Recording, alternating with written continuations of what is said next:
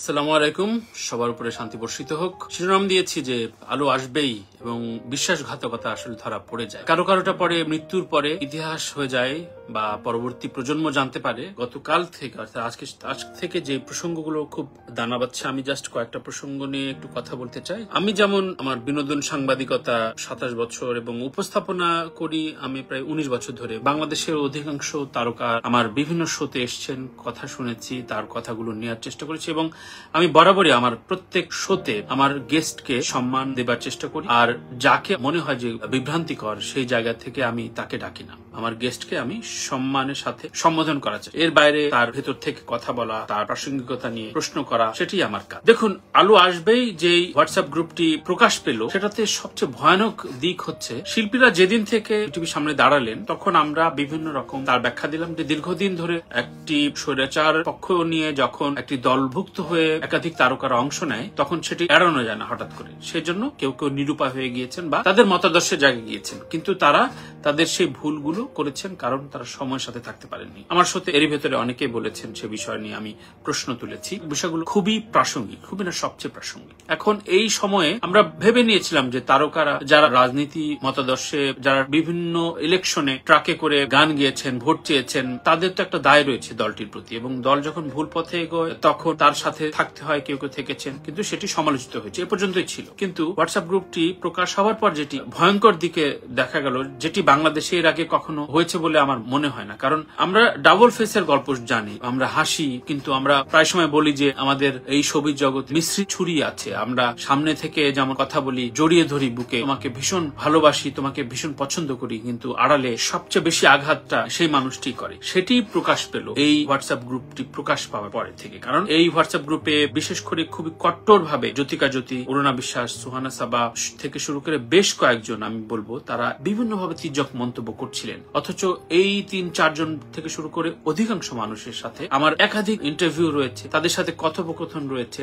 সেই জায়গায় সবচেয়ে হতবাক লাগে যে, যেই মানুষগুলো সম্পর্কে তারা আমাদের এই ছাত্রদের নির্বিচারে হত্যার বিরুদ্ধে আমরা যারা বলেছি, তাদের স্ক্রিনশটগুলো আমার স্ক্রিনশট নিয়ে, আরও অনেকের স্ক্রিনশট নিয়ে তাচ্ছিল্য করা দেখে নেব। অর্থাৎ কোনোভাবে যদি তারা এই মৃত্যু উপত্যকা পার করে যদি তারা আবার ফিরে আসতে পারতেন, তাহলে শিল্পীরাই তো শিল্পীদের শেষ করে ফেলতো। এর চাইতে ভয়ঙ্কর তো কিছু হতে পারে না, কারণ আমরা আয়না ঘরে গল্প শুনছি, আমরা প্রশাসনের নানা রকম দালালি শুনছি, কিন্তু সেইগুলোর ভয় ছিল, সেইগুলোর সত্যিকারের ভয় ছিল। এমনকি আমি পনেরো জুলাই থেকে যে স্ট্যাটাস দেওয়া শুরু করি এবং ছাত্রদের পক্ষে আমরা আমার বন্ধু নিয়াজ আহমেদ অংশু একটি লাল ব্যানার করে সেটি পোস্ট দেই। এরপরে লিখি আবু সাইদকে নিয়ে। এই যে বিভিন্ন রকম ধারাবাহিকতা, সেই জায়গাগুলোতে আমাদের বিভিন্ন মারফত হুমকি আসছিল, কিন্তু সেগুলো প্রশাসনিক, সুতরাং শিল্পী হিসাবে, সৃজনশীল কর্মী হিসাবে সেই দায় থেকে আমরা মেনে নিয়েছি যে তারা এটিকে ভালোভাবে দেখবে না, হিংস্রতার চোখে দেখবে। কিন্তু শিল্প, যেই মানুষটি আমার এক সপ্তাহ আগে, যেই মানুষটি আমার সুখে দুঃখে বা বিভিন্ন সময়ে আমার মনে হতো যে, না, ঠিক আছে, আমি বিপদে পড়লে বোধ হয় ওই মানুষটি আগে আসবে। হোক সে অন্য দলের, আমরা তো কেউই আসলে দলভুক্ত না, আমার তো কোনো রাজনৈতিক পরিচয় নেই। এর মধ্যে অনেকেরই নেই। তারা সাংগঠনিক ভাবে সদস্য, প্রচার সম্পাদক বা নির্বাহী সদস্য।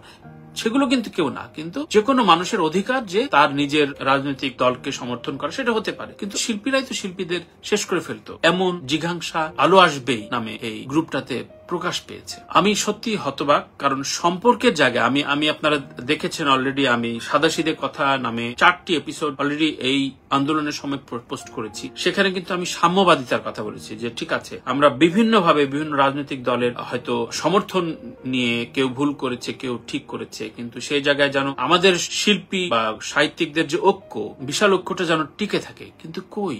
উল্টো মনে হলো যে ভিন্ন মতকে আমরা ভাবতাম যে ফ্যাসিজম বা রাষ্ট্র গঠনের যেসব টুলসগুলো যেগুলো প্রশাসনিক টুল সেগুলো হিংস্র হয়ে ওঠে। না, শিল্পীরাই তো শিল্পীদের সাথে চরম ভাবে হিংস্র আমি মনে করি আজকের দিনে শিল্পী সমাজ আমাকে অনেকেই ফোন করেছেন। তারা হতবাক যে এই স্ট্যাটাসগুলো শেয়ার করেছে শেয়ার করে লিখেছে, তারা আলাপ করেছে, দেখে নেব।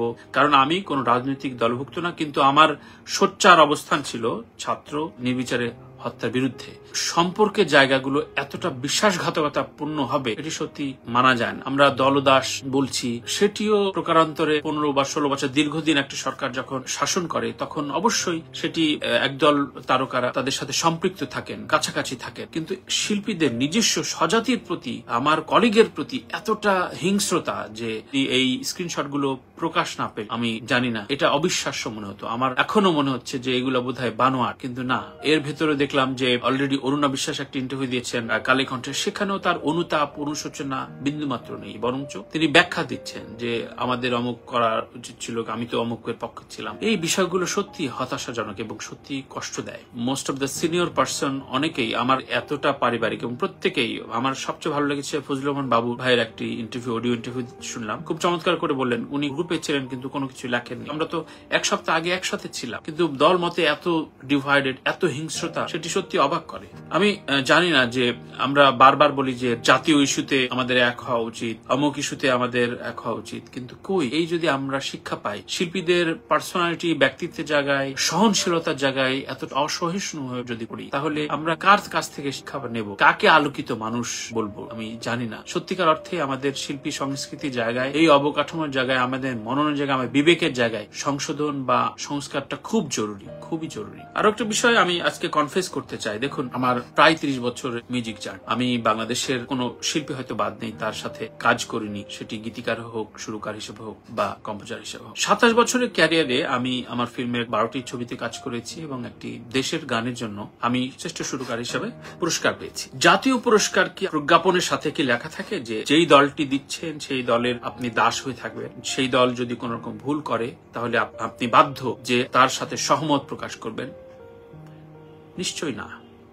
সুতরাং যারা যে বা যারা বলছেন বা বলার চেষ্টা করছেন যে অমুক সময় তো সে পুরস্কার পেয়েছে, অমুক সময় যেমন বাঁধন পুরস্কার পেয়েছে, বাঁধন কি দায়বদ্ধ যে সেই সময়ের বা বাঁধনের সম্পর্কে আরও অভিযোগ পাওয়া যায় যে তিনি বিভিন্ন দলের হয়ে ক্যাম্পেইন করেছেন। সেটি আমার সাথে কনফেস করেছেন যে সেই সময় একটা ট্রমাটাইজ ছিল এবং সেই সময় তিনি পাশাপাশি থাকতে চেয়েছেন। কিন্তু ছাত্র আন্দোলনে যখন ছাত্ররা নির্বিকারে মারা যাচ্ছে, হত্যা করা হচ্ছে, সেই সময় তো ঠিকই তার বিবেক তাড়নায় সে তো তাদের পাশে থেকেছে। শিল্পীদের কাজ বা শিল্পী বাদ দিলাম যে কোনো বিবেকবান মানুষের কাজটা তো এটাই। দলের প্রশাসক, দলের সদস্যরা দলগত আচরণ করে কিন্তু শিল্পী, সাহিত্যিক, নৃত্যশিল্পী, কবি, নির্মাতা তাদের তো একটা মিনিমাম বিবেকের ঐক্য তো খুব প্রয়োজন।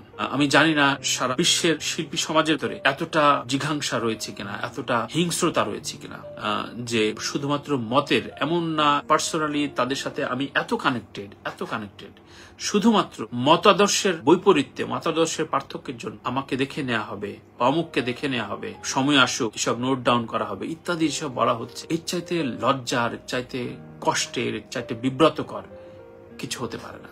সামনের যেই রাজনৈতিক দল বাংলাদেশ শাসন করবে বা পরিচালনা করবে, তারাও যদি কোনো ভুল ভুল করে, তারাও যদি কোনো বিবেক বিরোধী কাজ করে থাকে, অবশ্যই আমি, আপনি, আমরা সবাই মিলে, সকলে মিলে সেই জায়গায় তো সোচ্চার হব। তাহলে শিল্পী সমাজের এই দলদাসত্ব বা এই দলগত প্রক্রিয়ায় আমরা বারবার বলি যে, একজন একটি রাজনৈতিক দল আর একটি রাজনৈতিক দলকে যেভাবে ট্রিট করে, সেটি মানুষের মতো না। অমানুষের মতো। শিল্পীরা আপনারাই তো একে অপরকে অমানুষের মতো ট্রিট করছেন। এই যে স্ক্রিনশটগুলো বেরোলো, সত্যি এর চাইতে এর চাইতে দুঃখের, এর চাইতে কষ্টের কিছু হতে পারে না। শিল্পী সংগঠনগুলো, সেই শিল্পী সংগঠনগুলো আন্দোলনের সময় যে এক পেশে নিয়ন্ত্রিত প্রেস রিলিজ দিয়েছে, সেই দায়টিও প্রকাশিত হওয়া খুব প্রয়োজন। বিনু মাহমুবা লিখেছেন, শিল্পীদের দলনেতারা এর দায় এড়াতে পারেন না। আর একটি সংগঠন আছে, সম্মিলিত সাংস্কৃতিক জোট, তাদের কর্মকাণ্ড অনেকটাই দায়ী। সামনে- সামনের বাংলাদেশ বা বাংলাদেশি কালচার যদি সুপ্রতিষ্ঠিত করতে হয়, তাহলে সমস্ত শিল্পীর আগে কনফেস আসতে হবে যে আমি ওটা অন্যায়, আমি বিটিভিতে দাঁড়িয়ে বা এই শিল্পীদের সামনে যে গরম জল দিতে হবে, অমুককে দেখে নেব অমুকে এই করব, সময় আসুক, এটা যে অন্যায় হয়ে, আরও একটি বিব্রতকর বিষয় সেটা হচ্ছে আমাদের সাংবাদিকদের ভেতরে একজন লিমন আহমেদ, যাকে আমি আমি মনে করতাম খুবই ছোট ভাই হিসাবে ওর লেখা লেখির প্রতি আমি ভীষণ মুগ্ধ রাখতাম এবং আমার, আমাদের বিভিন্ন শোতে আমরা একসাথে বিভিন্ন কনভারসেশন করেছি। তো সেই জায়গায় সেও এই দল, যে ঘৃণতা পোষণ করে একজন আরেকজনকে দেখে নেয়ার কথা বলছেন। হামিদা আহমেদ ভাইয়া আপনার সাথে একমত? সরি ফিল করা এবং সরি বলে খুব, বলা খুব জরুরি। সত্যি অবশ্যই কনফিউজ করে সরি বলে আসাটা খুব জরুরি।